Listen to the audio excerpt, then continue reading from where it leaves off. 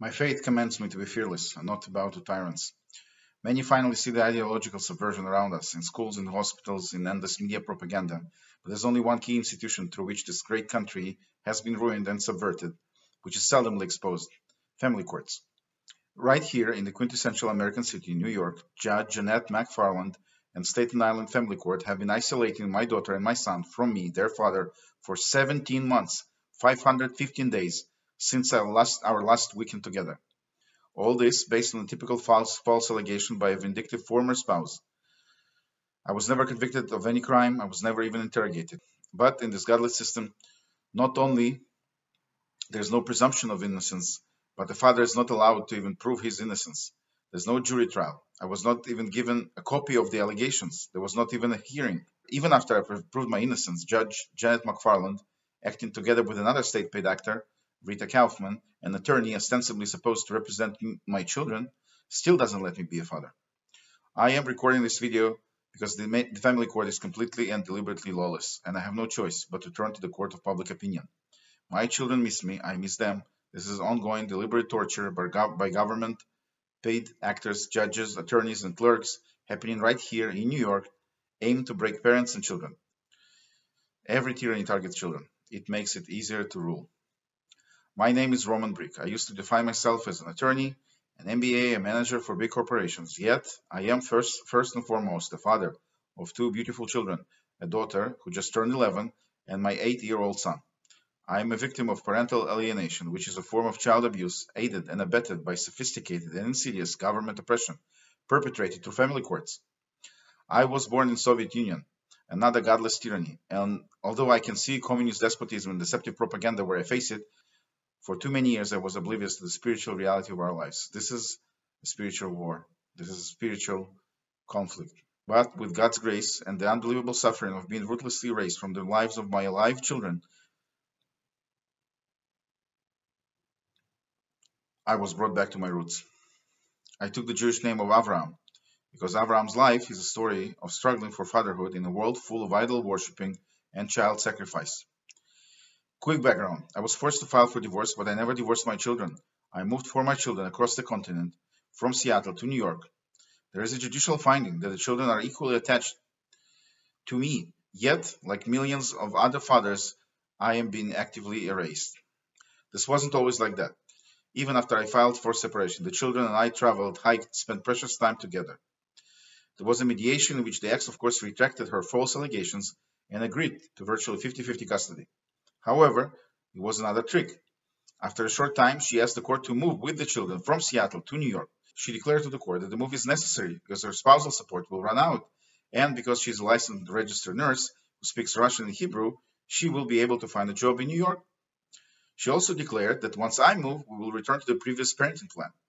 Another judge in Seattle, ever happy to play along with the obvious deceit and abuse, allowed her to take her children across the continent. I was allowed to see them once a month, of course, the thousands of dollars I had to pay every month to my ex, who is a registered nurse licensed in two states, was based on my job in Seattle. My ball and chain remained there. I had to fly across the country to spend the weekend with my own children. Imagine flying for six hours, rushing in rain and snow, renting hotels, cars just to see your children for a couple days in a foreign hotel after they had a home, room, rooms, friends in Seattle. Moving from state to state is another common tactic to shake off the father, and the courts enable it. In the meantime, my former spouse attempted to register the superseded plan in order to entrap me, knowing that I could not pick up the children from the school every Thursday while still residing in Seattle. This is an outright perjury. I submitted a formal complaint to the DA office. I got sympathy, but no resolution. Crimes are ignored. Black on white perjury swept under the rug. Psychological child abuse is not only allowed to continue, but actively endorsed and abetted by attorneys and judges like McFarland. With God's grace, I was able to find a comparable job, a great home for the kids, but exactly as I predicted, the ex decided to keep the children away from me with no reason, even though I live 10 minutes away from their school. After waiting for months for a court decision, I managed to spend 10 weekends with the kids. They were happy. We rode bikes together. We found a good hiking spot in New York as well. And then, of course, my ex made another fraudulent complaint to Child Protective Services. To this day, I never got a hearing in family court. All evidence, all previous lies, all perjury, all clear motive of alienation, everything was ignored. I was allowed to spend less than a third of a percent of time with my kids, one hour every two weeks, under a constant watch of hostile social workers in a prison-like environment with metal doors, worn-out carpet, loud buzzers.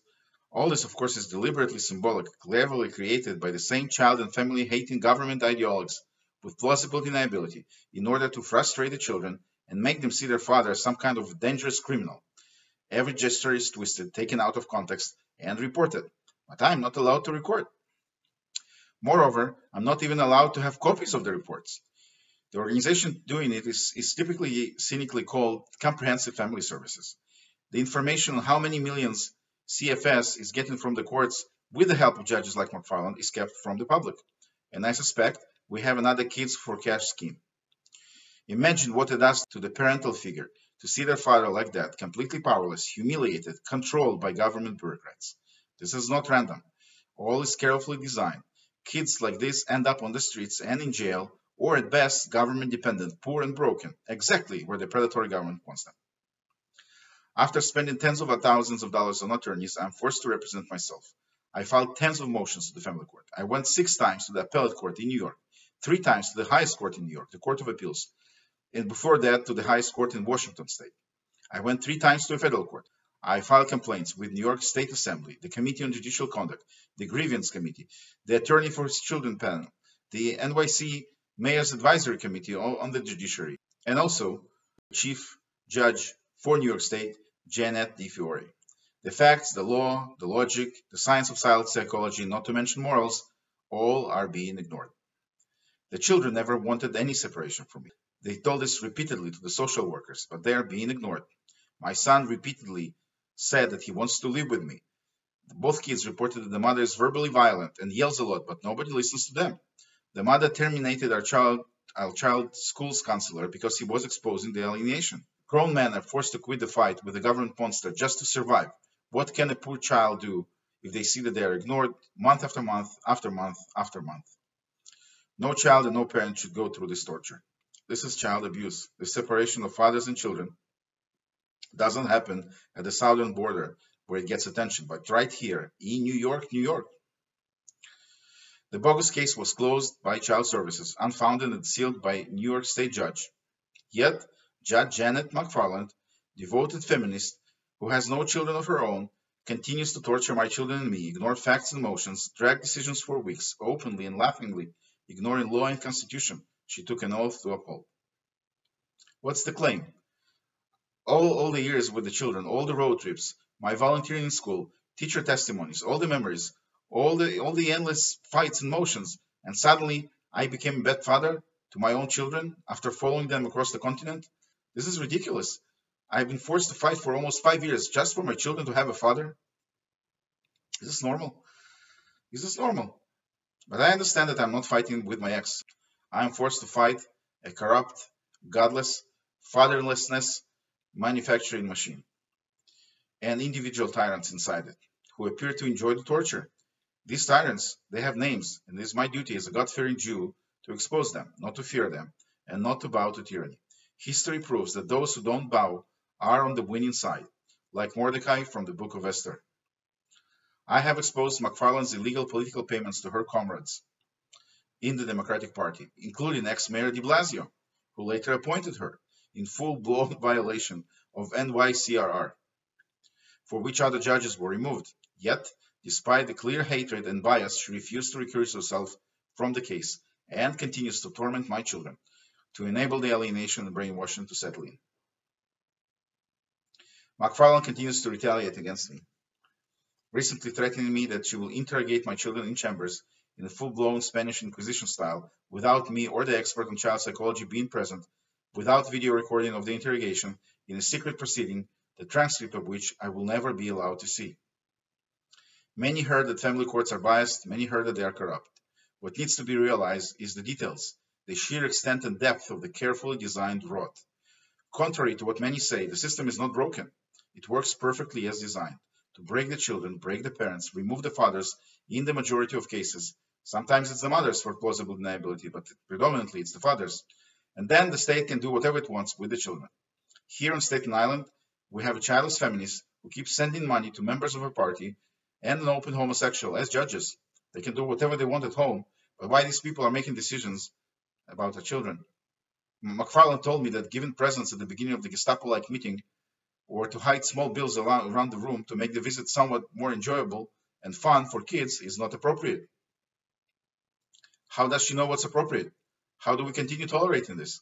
McFarland was caught violating the law. Go type her name in elections.ny and gov website. What moral authority she has to judge others? These are the same people who bring drug, queen, drug queens into kindergartens, push for genital mutilation and hormone therapy, hormone blockers for, for teenagers. This is an all-out war on fathers and children, because fatherless society is easier to subjugate. I, I grew up reading Solzhenitsyn, Varlam Shalamov. This is a book I read recently, and the author also describes how the communists came first for the fathers. Why are we allowing people who revolt against God's commandment to be fruitful and multiply ruin lives of our children? Is it because they can only multiply through our children? I worked as an attorney in Israel for many years, so I understand exactly what's going on. But I'm not an attorney in New York. So, unlike these attorneys who let the court system deteriorate to its current despicable state, I cannot be disbarred and subjugated. I am helping other parents. I am leading many novel and creative legal efforts. I exhausted all my savings, all while the other party receives hundreds of thousands of dollars in child support for children I don't see endless welfare handouts and free attorneys funded by the state to litigate me to the ground. I'm asking for your help. Everything you touch in the system is fully rotten and subverted. It festered for decades. The appeal process is designed to discourage. They cut and paste the same paragraph in completely different cases. Appellate division can decide cases in the quorum of four. It shows they never disagree. Attorneys for the children are claiming attorney-client privilege and at the same time testify as if they were witnesses. My children are not given a voice. They are silenced. My son said he wants to live with me, but Kaufman lies and denies it. The system is designed for grown men to give up and walk away. How soon a small child will get frustrated and align himself with the lies? Just as a survival instinct. Just as a survival instinct. Panel supposed to oversee attorneys for the children refuses to release information on who is actually certified to represent children and what education and parental alienation they have the grievance committee, supposed to discipline attorneys, ignored blatant lies and deliberate misrepresentation of law by Rita Kaufman, who, together with the state attorney representing my ex, Ian Berliner, were formally admonished by another judge, but the public will never know it. McFarland was not elected. She was pre-selected by the mayor in a hidden process with minimal time for the public to react. And this is supposed to be legal? And this is supposed to be normal? Assignment of attorneys by the court are supposed to be public knowledge to prevent nepotism and favoritism, so the taxpayers could know which attorneys get the majority of cases. But they are not. Chief New York State Judge Di Fiore ignored multiple letters showing McFarland's corruption and illegal payments, and cynically wrote to me to submit a complaint to a commission, which is formally not a part of the judicial branch, but it is full of judges in a full-blown conflict of interest who control the outcome. Of course, all of it is smoke and mirrors for the public. Plausible deniability is the name of the game. All overseeing mechanisms have been equally subverted, and we truly have an unelected ruling class preying on the children. All the circus is funded with Title 4D of the Social Security Act, money, which creates a perversive incentive scheme to always have one custodial and one targeted alienated parent. It is bribing the states with federal money incentivizing the judges to never allow 50-50 custody and to maximize matching child support payments. It covers the real intents of destroying lives with the plausible deniability of incentivizing collection of child support. All over the US, this money is used to fund the sheriffs, the courts, the support magistrates, the very mechanism that ruins the families. The very mechanism that ruins the parents and the children. One key topic that I have to mention. The courts routinely deny the right to a jury trial, although the right is guaranteed by both US and New York constitutions. We saw what difference jury trial makes. Johnny Depp versus Amber Heard. But this is only reserved to celebrity millionaires. I believe that I am the first father in New York State who brought the question of jury trial in family courts to the appellate federal court in Second Circuit. I am following the biblical story of Avraham and Avimelech. Those helping others will be helped as well. All these and many more are projects that I've been working on with other alienated parents and victims of this horrible godless, covert ideological takeover through family courts. This is full-blown government tyranny and social engineering through completely emptied out institution of family courts. Only the husk remains. I am commanded by God and my faith to stand up to it, and I am asking for your support and your help. My children and I are helpless hostages, de facto abducted by unelected, ruthless, petty tyrants like McFarland, who shove their child and family hating ideology down Americans' throats. Judge McFarland wants to re-traumatize my children through a hidden interrogation in her chambers, playing along with the child-breaking agenda even after full vindication by the universally hated Child Protection Services and another judge. Only her and the equally corrupt lawyer Kaufman will be present. I will never know what was actually said. Asking the children who they want to live with is judicial child abuse. There were judges who actually said that. My expert witness wrote that this is extremely damaging to the child. It puts them in a loyalty conflict. It has no evidentiary value. The children were isolated and brainwashed and coached by the alienator and the attorney Rita Kaufman for 17 months. A child cannot dictate when to go to sleep or whether they want to wake up for school, how much ice cream to eat. Yet in this perverted system, they are adultified whenever government finds convenient. Children need fathers. Kids need fathers. But the same pervert government that is sexualizing children from an early age and pushes ungodly agenda through kindergartens is allowing the children to change their sex or select their parent through family courts. I'm asking for your help and support. I'm opening a donation page. Please feel free to reach out to me via email, saveavrahamschildren at gmail.com.